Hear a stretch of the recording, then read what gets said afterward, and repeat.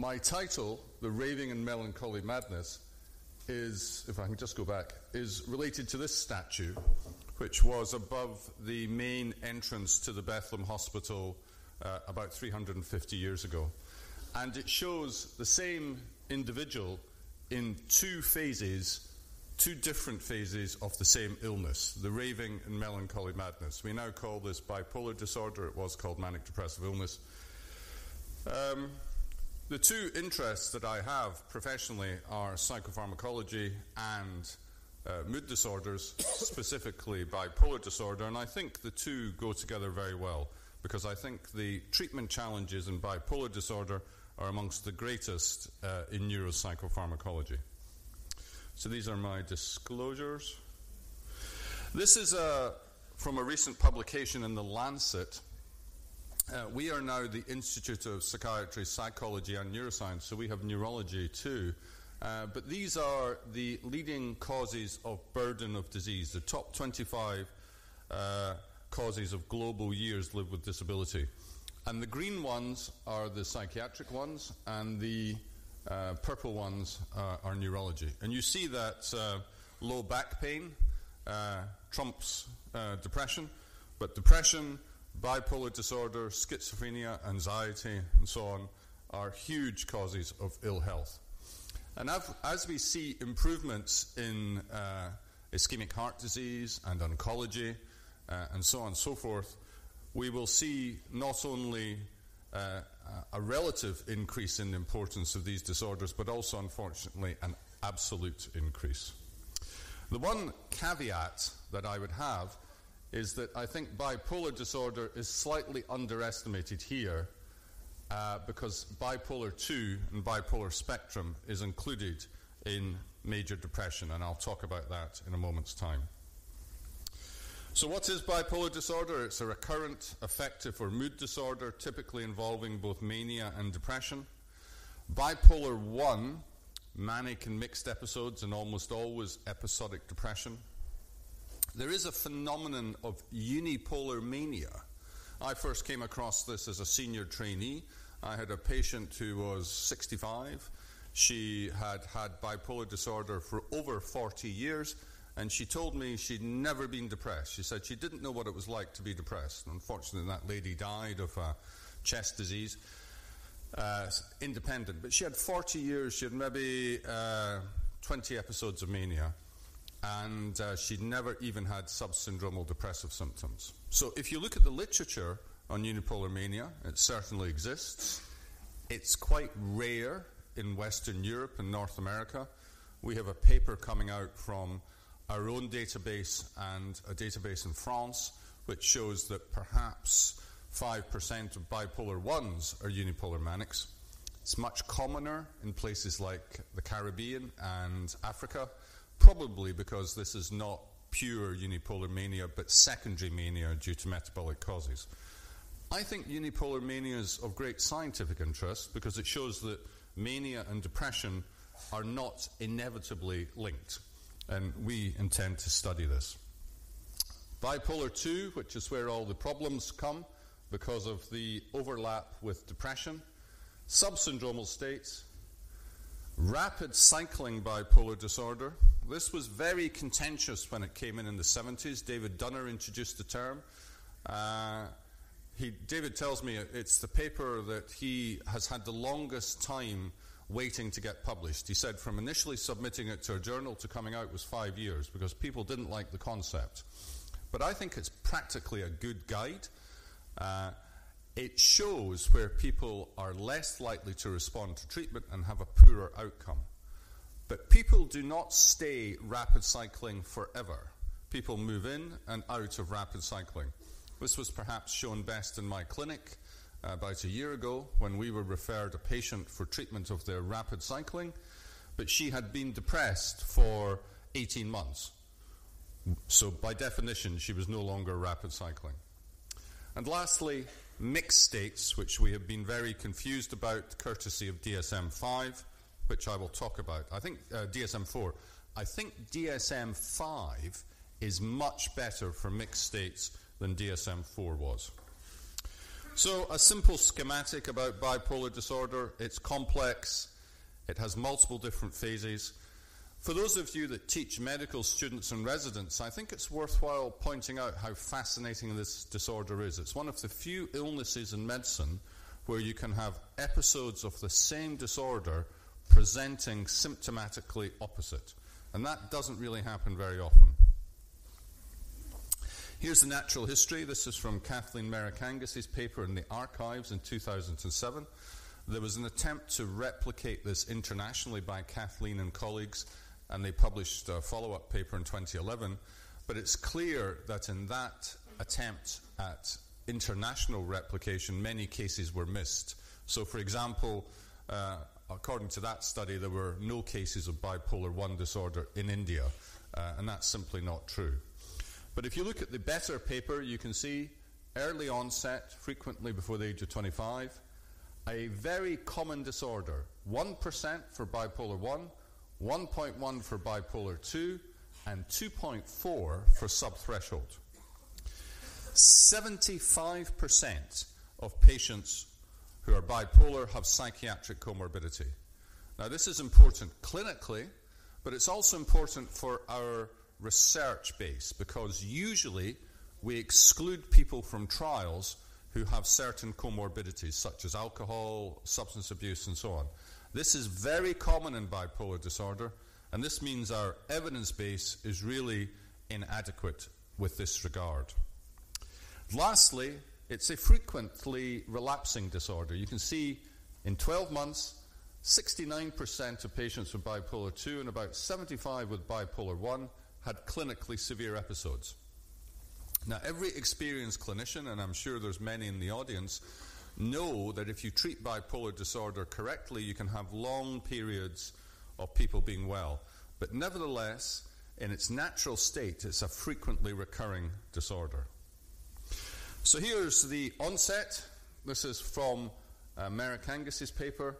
This is the first episode of either depression or mania. And you can see that it really onsets with puberty, with depression. Mania is actually, in my experience and in the literature, very uncommon before the age of 15. Thereafter, you see there's a steep rise. There are cases that onset in older life, my own personal uh, record for a patient with a first onset being as late as possible was 65 with no previous depression.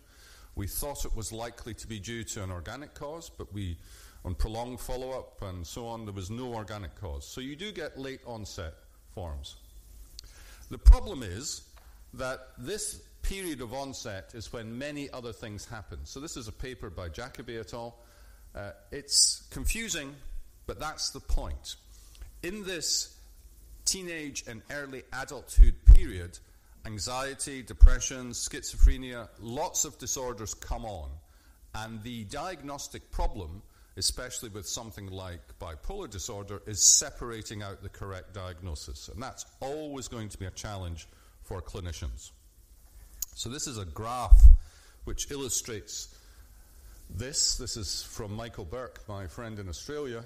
And you can see Michael sketches out that there may be any symptoms of mental illness, an episode of depression. Remember, people with bipolar disorder will on average have two episodes of depression first, and then mania, and then a full episode of mania. And because of this, the initial diagnosis can take 10 years because the initial presentation is typically depression. Symptom overlap leads to misdiagnosis. One third of patients are misdiagnosed and remember the comorbidities, particularly alcohol and substance misuse. I think there's a very fundamental connection between alcohol, so substance misuse, and bipolar disorder. If we look at people at their first episode, the rates of alcohol and substance misuse are very, very increased compared to the matched population. And I think probably related to re- reward systems in the brain, there's a deep connection here. Okay, moving on to DSM 5. Should, of course, be 5 and not V. Uh, you know about this. It's worthwhile remembering that the big change was DSM 3. DSM 3 Uh, and I can remember I was a student when DSM 3 came in. It was seen as being a big advance. It made psychiatric diagnoses reliable. In fact, they were more reliable than cardiologists listening to heart sounds. Uh, and since then, there's been an expansion and a tinkering and so on and so forth. But my fundamental message is I think mostly for mood disorders, DSM 5 is a good thing. I think they've mostly done sensible things, and I'll talk about that very briefly. So, the first thing I'm not so sure about uh, there's a separate chapter for bipolar and related disorders from depression. My own view is that this could be interpreted wrongly. I think for mood disorders, you should look at mood disorders in the round, you should look at mood disorders with depression and with bipolar disorder together. Uh, and a separate chapter, given that many people in the United States are rather concrete, uh, I think that may lead people to think there's a bit of a false separation between depression and bipolar. Next thing I think is good increased energy or activity has been added as a core criteria. Uh, I think this is not only something which I think is reasonable, I think it's something that we will be able to uh, determine with data from use of social media. There's already papers coming out about texting patterns in terms of uh, uh, changes with mood, people texting faster. This, of course, has to be personalized. If you look at someone like myself, the rate at which I text is very slow. If you look at my children, they text very, very quickly. And uh, if I texted at their speed, I'd clearly be manic or perhaps even have a psychotic mania. But nevertheless, I think that and I think actigraphy, where you can monitor activity, will give us empirical data to back this up. The mixed features specifier has been added for mania, hypomania, and depression. I think this is a good thing. This allows us to capture the one third of people with mania who have significant depressive symptoms and the one third of people with depression who have significant manic symptoms. But please note that this also applies to major depressive disorder. So, major depressive disorder, a separate chapter, you can also have mixed features. To me, that argues for the commonality of bipolar and uh, depression. Antidepressant switching, if you become manic during antidepressant treatment and you stay manic or hypomanic after the drug is washed out, this is now a clearly an episode. And lastly, there's other specifiers such as with anxious distress. there's a whole great big list of the specifiers, and I think this is quite good. This allows us to keep the basic diagnostic category, but to add qualifiers which allow us to do post hoc analyses. So here's an interesting paper. I think this is worthwhile trainees reading. This is the reliability of the uh, DSM diagnoses, the field trials, and you can see it goes from not reliable at all, which was manic, uh, which was mixed anxiety, depression, to PTSD and dementia, which were the most reliable. I've picked out bipolar 1 here because bipolar 1 is much more uh, reliable than schizophrenia, much more reliable than bipolar 2, but bipolar 2 is more reliable than major depressive disorder. So, within the hierarchy of reliability, I think we should trust bipolar 1 best. My friends in the United States, and Carlo, I'm sure, has heard this as well, this was done in expert centres, and bipolar disorder 1 would have been up here, except one expert centre scored very poorly. And that's because the diagnoses were done by new psychology assistants who were untrained. To my mind, that says if used properly, these criteria are very, very reliable, but you cannot abuse them. You have to do things properly. Uh, I won't say which centre that was. Also, schizophrenia, not as reliable as bipolar 1, and schizoaffective, rather strangely, more reliable than schizophrenia. So, bear this in mind, and I think this should almost guide our treatment trials. We should look at bipolar 1 first, we then may look at bipolar 2, and we should then go to major depression. That's not what's happened in the previous decades. What's happened is that people tend to have studied depression, they've then extrapolated to bipolar, and it's probably been the wrong way around. So, despite the fact that bipolar 1 is defined by mania and bipolar 2 by hypomania, depression is the big issue. There's three studies. This is one by Joffe in uh, Canada. There's another North American one, one in Europe. They all show that patients with bipolar disorder, when followed up over the longer term, are without mood symptoms only half the time. Symptoms are commonly subsyndromal or moderate depression, but you can see how rare hypomania and mania is. So, this to me explains the problem with diagnosis. You see someone with a depressive episode, especially hypomania, may get missed in the past. Anxiety is also very common. Now, this is not a problem for trainees to understand with major depression, but they often think that there shouldn't be anxiety in bipolar disorder because they think of bipolar disorder with mania or hypomania. But the rates of any lifetime anxiety are very high and they encompass all of them. In my clinic, one of the big clinical issues that we face is residual anxiety symptoms in people who've gotten through their episode of mania, depression, or mixed states. It's a big problem, I think, clinically everywhere. And of course, personality disorders, the big one being borderline or EUPD. There's a compare and contrast between EUPD or, bipo- uh, or borderline and bipolar done here by Lakshmi Yatham. You can see that probably the one uh, phenomenon that's very different is endorsing depressed mood compared to emptiness. Remember, there's a 15% comorbidity, and this is especially true with bipolar 2. There's a very nice paper from Italy by my friend and colleague Ilio Perugi from the Bridge Consortium that showed this published a few years ago. I think possibly the activity criteria may help. The activity, increase in activity, is much more likely to apply to bipolar than to uh, borderline. So, very briefly, the natural history of bipolar disorder there's an early onset, but not always, lifelong high risk of recurrence, high rates of depression, frequent mixed symptomatology, high rates of incomplete uh, remission, and a considerable suicide risk. But bipolar disorder doesn't uh, follow any rules. These are the averages. We all know, every experienced clinician knows, you'll see some patients who have a later onset, some people who may have periods with treatment of being well for decades, and so on and so forth. This is just a brief list of practical considerations which I think we should have in our minds about bipolar disorder. The key point with mood disorders is whether it is recurrent or not. This is what Kraepelin said. I think this is much more important than thinking about bipolar or unipolar. At the beginning, you should be thinking about is this a recurrent mood disorder? And then the severity, the criteria for having a major depressive episode, evidence of mania or hypomania. Remember, hypomania can always be missed.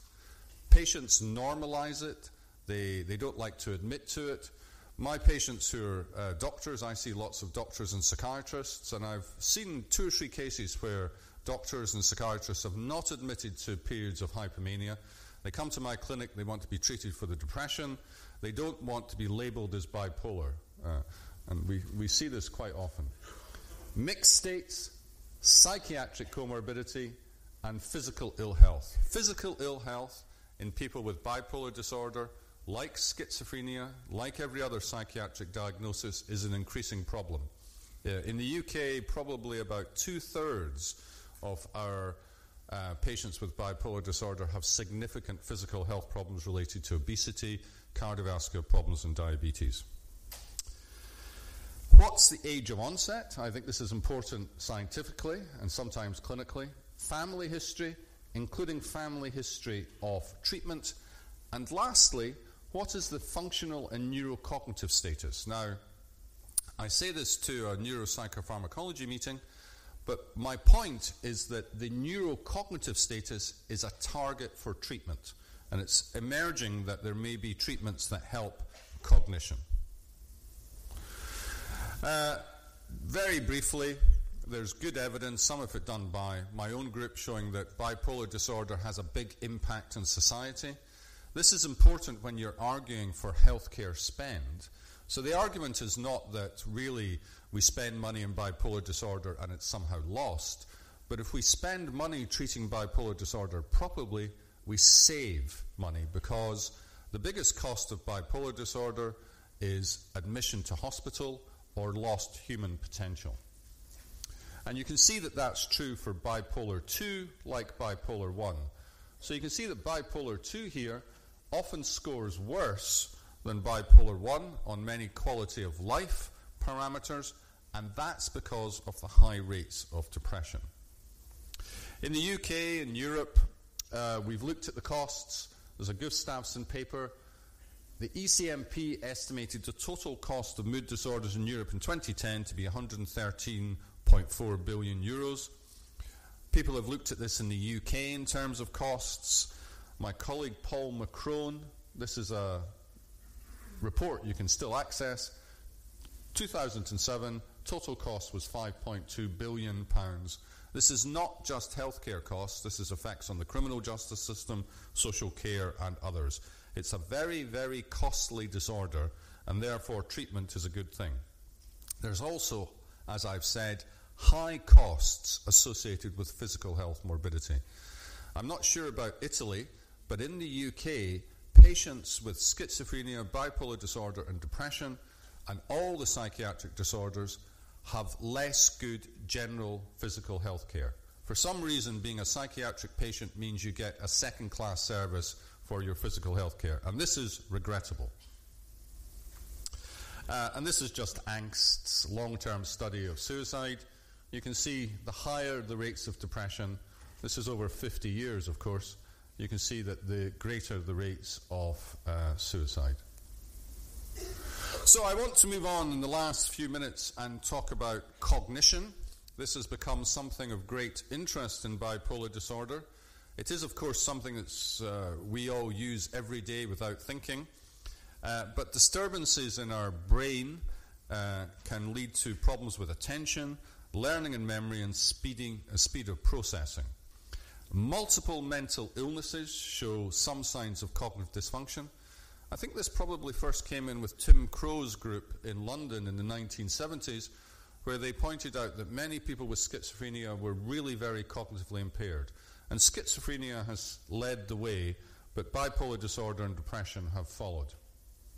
So, if you look at the history of looking at neurocognition, the first paper was done in uh, Glasgow in 1978 and looking at the effects of drugs. And now there's books, there's probably over 2,000 uh, papers. And this is a summary of what we think about uh, cognitive impairment in bipolar disorder. So, patients with, cogn- with bipolar disorder have cognitive impairments in attention, memory, and executive functioning. Now, executive functioning is a, uh, is, isn't particularly well defined. My working definition of executive function at the moment is it's everything that our politicians aren't doing properly. So it's thinking ahead, making plans, having pr- appropriate strategy. But even the neuropsychologists can't agree a, a definition. But it's very, very important for our function. Cognitive impairments appear early in the course of illness and persist over time in euthymic patients. Some patients have evidence of a progressive cognitive decline. And this has led some of my colleagues to talk about bipolar disorder being a neurodegenerative disorder. I'm very uncomfortable with that because patients go on the internet. If they read this and they think that bipolar disorders like Parkinson's or Huntington's, I think it will have a very bad effect on people's, uh, people's morale and may actually increase suicide. But I do think there's evidence that some groups have an accelerated decline. And we need to be assessing this more. Now, this is the trajectory of cognitive impairment in bipolar disorder. So, this is from Lewandowski, who was in our institution now in Harvard. And this is from the Dunedin study. Dunedin is a small city in New Zealand. They uh, looked at a large number of children from the healthy population. They did simple tests and followed them up over 20, 30 years. And they were able to show that the group who became schizophrenic lagged behind their peers and then dropped off with the overt onset of schizophrenia. Now, there's a debate in the schizophrenia world about whether this is flat or whether it goes down. Uh, our group has a paper coming out which shows that there's a modest continuing decline in cognition in the schizophrenia group. But this has been well known for decades. Manfred Bleuler and others talked about this. The group with bipolar disorder actually, before the illness onsets, are ahead of their peers on average, about two thirds of a standard deviation. Bipolars are very often very bright. But with episodes of illness, they have a continuing decrement in their cognitive function. Now, the question is whether this can turn around and people can come back up, and I think that is certainly true. And I'll sh- show you some evidence from a couple of trials that we've done one with drugs and one with a psychological treatment that suggests you can really uh, boost cognitive function in bipolar disorder. And of course, the fact that episodes of illness cause uh, increasing cognitive impairment is undoubtedly related to uh, what's going on in the brain during episodes of illness that eventually ends up in a minor degree of cellular damage. Okay, I want to talk very briefly about treatment, and then I'll come back to talk about cognition with treatment. Uh, this is a painting by Hieronymus Bosch, the, the extraction of the stone of madness, which looks at an early neurosurgical procedure. But treatment challenges in bipolar disorder, for all the reasons I've gone through, are particularly great.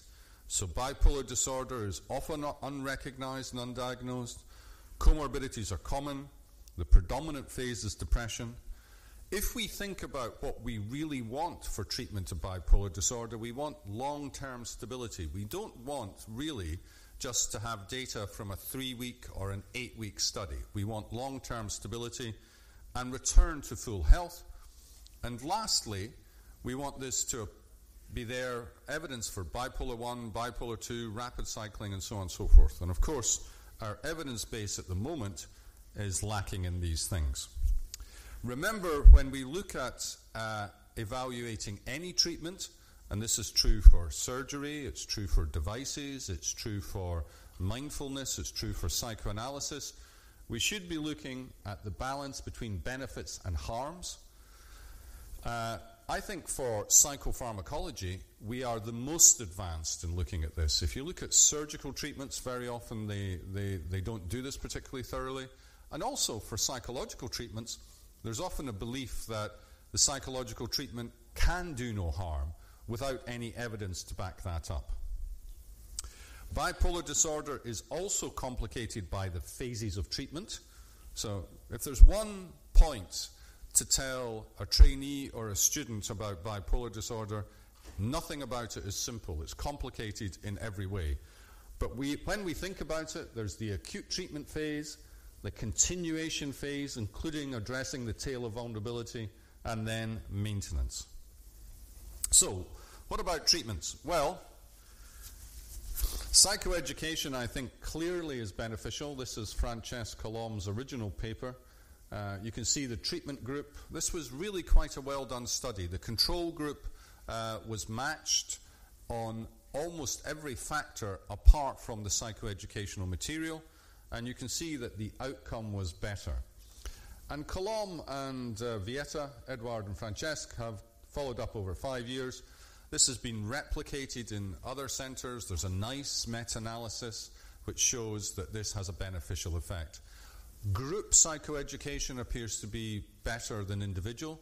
There are, of course, some scenarios when uh, we have to do individual psychoeducation. We have a program running with young uh, Muslim women. Uh, they don't want to be in groups, they want to have individual psychoeducation. But for many um, for many bipolars, the group is a very important therapeutic milieu. What about pharmacotherapy? Well, we use everything that we use in other parts of psychiatry, and we also import medicines from other areas, such as anticonvulsants. If you look at these, the only um, treatment that was really introduced from the beginning for bipolar disorder was lithium, which remains our key gold standard treatment. Others clearly have good efficacy in bipolar disorder, ECT, for example, whereas questions still remain about antidepressants and indeed even antipsychotics. Now, this is Andrea Cipriani uh, from Oxford, although originally from Italy, of course. This is his uh, network meta analysis of treatments of mania. We're very good at treating mania. If it was just a case of treating mania and nothing else, we could put everyone on high dose haloperidol and we'd have no problems with bipolar disorder. But you can see from this that uh, there's a number of different treatments haloperidol, lithium, which are better than placebo. This is a very limited study in many ways. Acceptability was staying in a three week trial. That's a very crude measure of something being acceptable. And efficacy, again, is based on three weeks. So haloperidol comes out very well, despite the fact that it has the highest rates of post manic depression. So that's totally missed by this study. But nevertheless, we're very good at treating acute mania. What happens afterwards, I think, is very questionable. So, this is a study by Kessing and colleagues published in the British Journal in 2013. These are people in Copenhagen who were discharged after an episode of mania.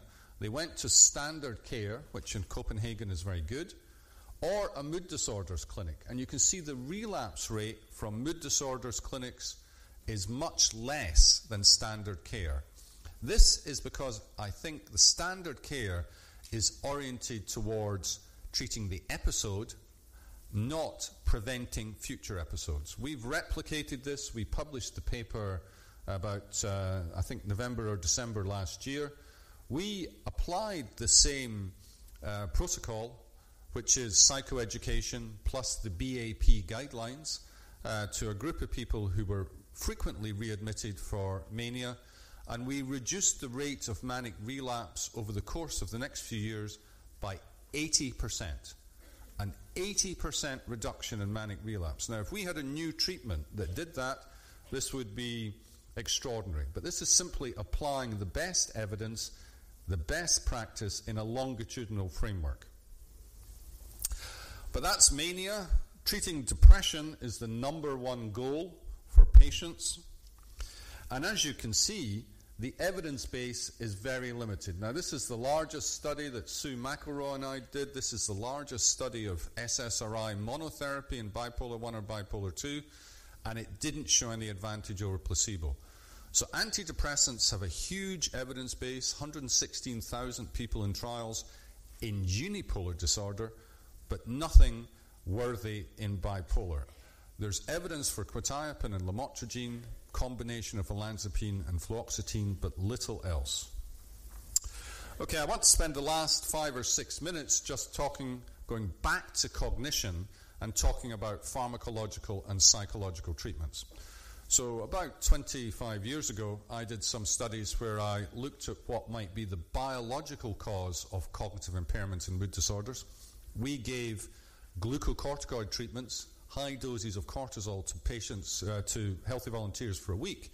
And we caused impairments in mood like we were seeing in patients. And these were fortunately reversible. So, therefore, the notion that you might be able to block high levels of stress hormones has taken hold. And various people have tried different strategies. Uh, the one that we've done is using a glucocorticoid antagonist called mifepristone. So, this is the first study that we did uh, about 15 years ago now. We added mifepristone to ongoing treatment, and you can see there is some suggestion of a benefit in uh, depressive symptoms, but really quite a large effect on cognition. So, this was an experimental medicine study, it was an initial study, and we followed up by doing a larger between group studies which we published in Biological Psychiatry about five or six years ago. We reproduced the large benefit on cognition. So I don't. Th- I think these two studies together, it's really quite clear. You get a benefit in cognition from blocking the stress hormones. Moreover, in the paper, the benefits from blocking the treatment were proportional to the level of the stress hormone at baseline. So the higher your stress hormones, the greater your improvement when you block this. What was more problematic is in the second trial, we didn't show an antidepressant effect. And this has actually made it very difficult to get further funding for this because we apply to the MRC and so on, and they say, well, there's, there's no benefit for treatment of depressive symptoms. Cognition on its own, it's not such a big deal. We've actually gone to uh, more basic studies. We're looking at effects on brain imaging of mifepristone, but I think this is still a treatment avenue that's worth considering. The next form of treatment I want to talk about is cognitive remediation. Multiple types of cognitive remediation exist. Uh, not everything that says it's cognitive remediation is. There's a lot of uh, poor quality versions out there.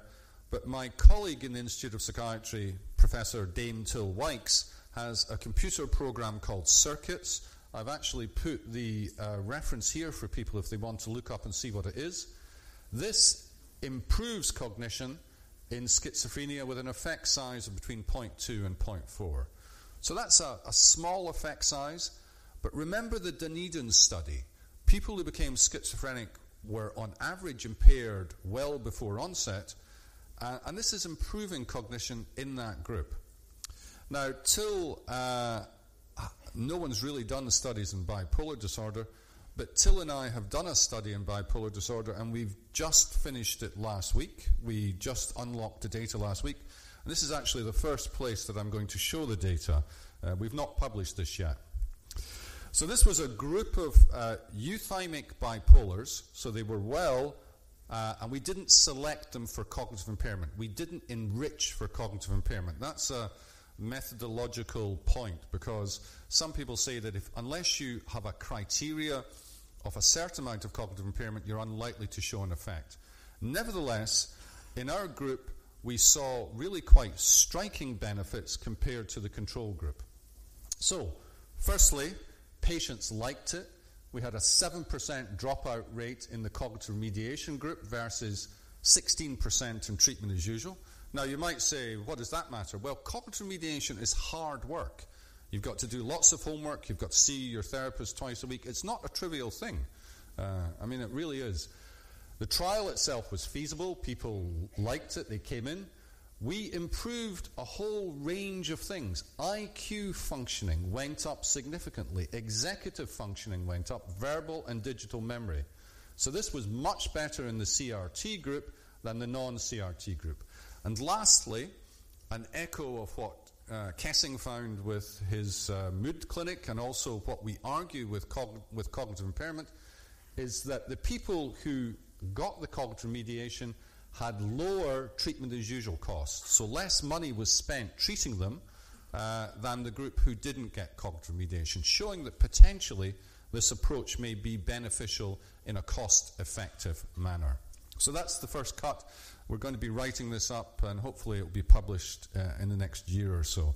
But I think this sets the scene for us doing further studies of cognitive remediation in bipolar disorder. Now, the obvious question is should we be combining this with effective pharmacology? Uh, of course, the answer is yes. So, to summarize, bipolar disorders are common, clinically complex, and costly. The diagnosis requires skilled psychiatric uh, input, uh, but it's complicated by symptom overlap, heterogeneity of patient symptoms, comorbidity, and residual symptoms. Early, accurate diagnosis is very important. What we should really be aiming for is not just treating the episode, but treating the patient's illness in a more complete sense with restoration of patient functioning, quality of life, and so on. If we give optimized treatment, and that's psychoeducation with uh, pharm- pharmacology uh, driven by protocols, with other treatments such as family therapy and so on held in reserve for those who clearly need it, that improves outcome And we've got evidence that we can target new treatment outcomes, such as cognition, using novel pharmacological strategies and cognitive mediation. So I'll stop there and thank you for your attention.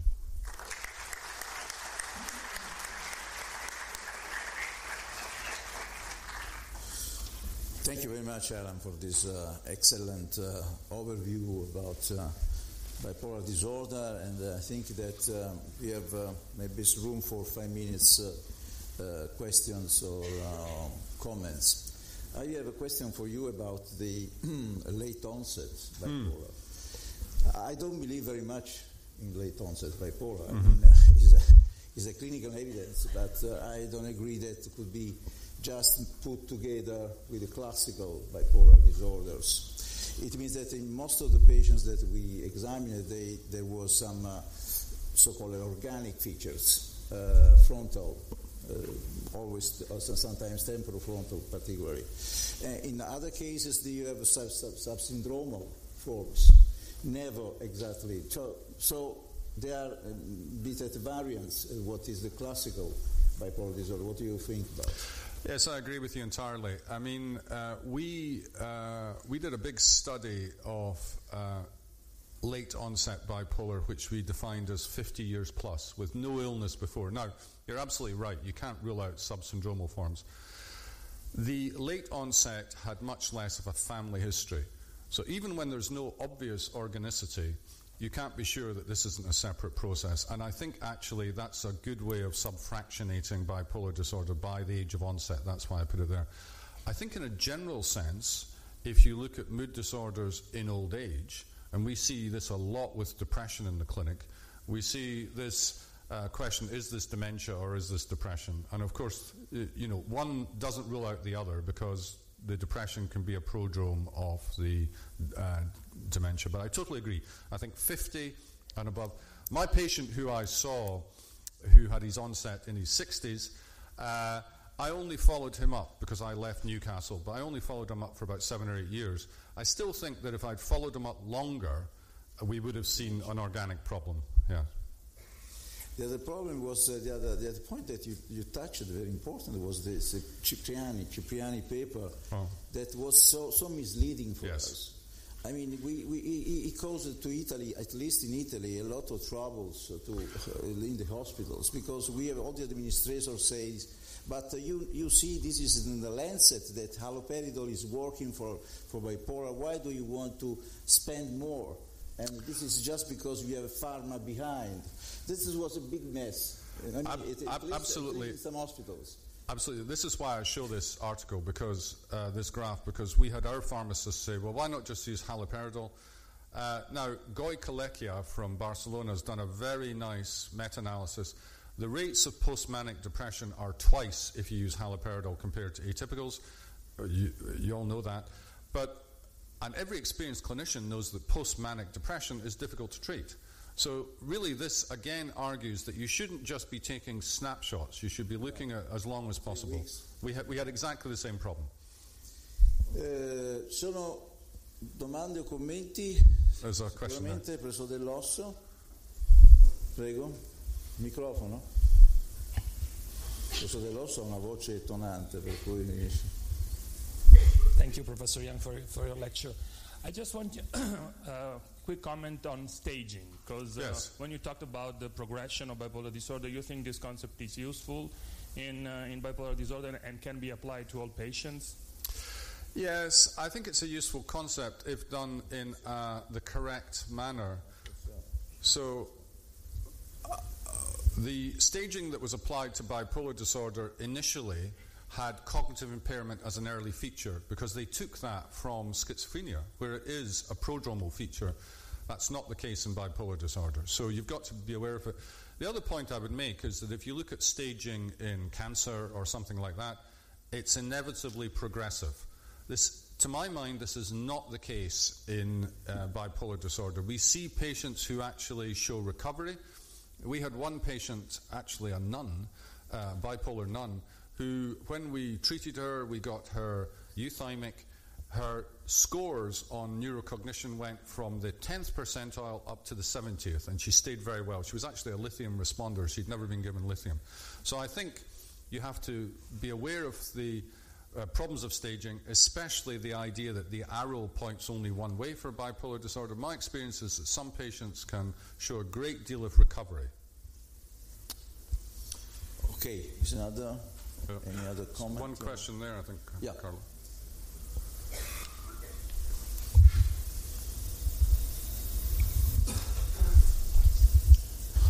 Uh, thanks for the, the lecture. Uh, which test do you use for cognition?